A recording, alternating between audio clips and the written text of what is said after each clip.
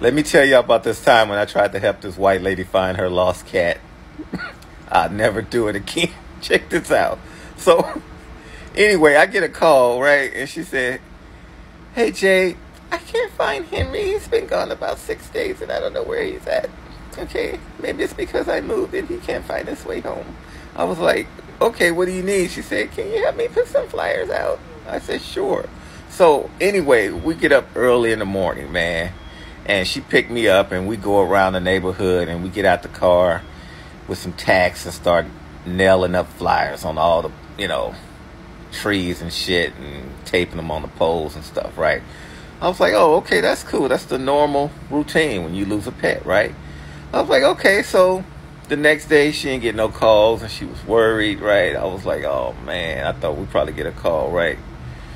She said can we um drive around and see if we see Henry? I was like, sure.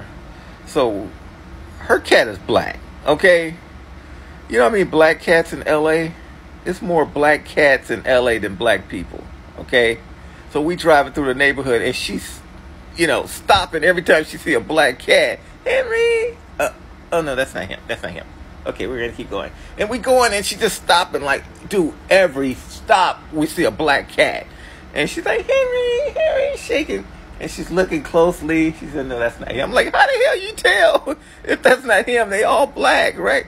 So anyway, so anyway, that didn't work, right?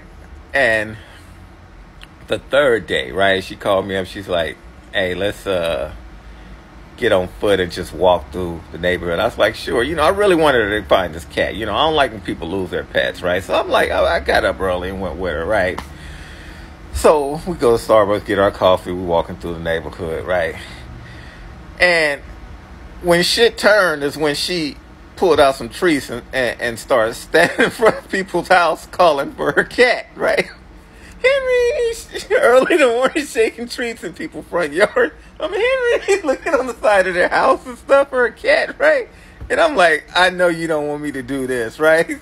So, dude, she asked me if I can go across the street and do the same thing on the other house. So I'm across the street, and I'm like, I can't believe I did this. I'm in front of people out there. I'm like, Henry, Henry, right? and then it got so bad, Henry wasn't coming out. I'm like, oh shit, I, I need to sound like her, right? I'm like, Henry, come out.